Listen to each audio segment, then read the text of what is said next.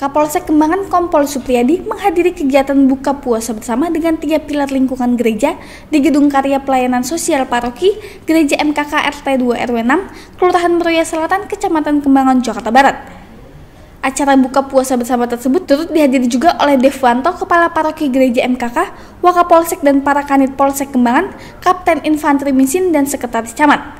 Adapun sambutan dari Kapolsek Kembangan antara lain mengucapkan terima kasih atas undangan buka bersama di gereja MKK yang selama ini hubungan dengan Polsek sangat baik dan menghimbau kepada Ketua RT dan RW serta warga yang hadir untuk mengingatkan agar lebih waspada menjelang mudik lebaran agar memperhatikan warganya yang akan mudik serta menghimbau agar memperhatikan putra-putrinya yang ikut giat sahur on the road jangan sampai terlibat tawuran. Demikian dilaporkan oleh Binmas Semeroya Selatan Aibtu Suharyanto, salam terbata.